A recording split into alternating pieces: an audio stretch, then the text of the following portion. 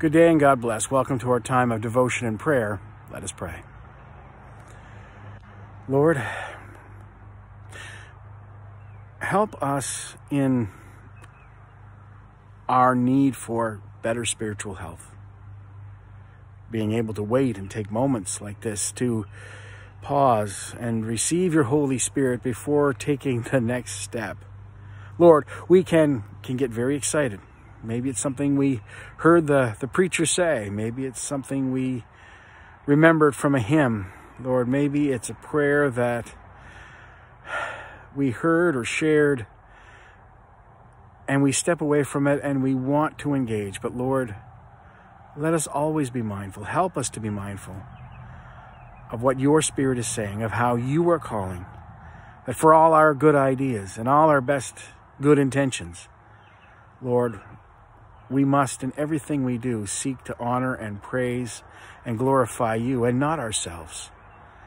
Lord, when people celebrate us for doing good things, for being good people, it makes us feel good. So, Lord, help us to be those good people. And not just those with seeming good intentions, but with hearts filled with selfish desire. Lord, make it about you being right and not just us. Too often, Lord, we think we're right and we're stepping away from you. So, Lord, help us to be careful when the whole world seems to tell us that we're on the right track and we're acting in opposition to you. Lord, teach the church not to become worldly, but to, in the context of the world in which we serve, from which we praise, that we will draw closer to the truth of heaven. That we will make our fellowship about a relationship with you and not about our personal standing and rank. Lord, we end up being another kind of rank when that happens. And Lord, we pray for the work that the church is seeking to do in the world. That it be not to culture another people, but in serving others to be a better sign of your love to ourselves and to those we serve, but especially before you. Lord, let us honor our families in the way we conduct ourselves. And Lord, help our faith to grow. Lord, bless us now as we come to your word, that we will be not only blessed by it, but go forth as a blessing from it. In this we pray. In Christ Jesus' name. Amen.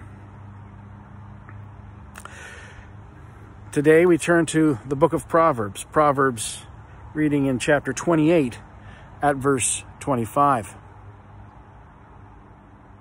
He that is of a proud heart stirreth up strife, but he that putteth his trust in the Lord shall be made fat.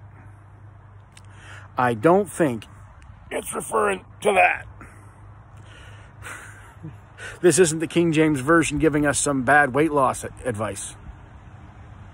But we will be made full, we'll be made satisfied, we'll be made refreshed and complete and full of everything that we need to feel fully alive.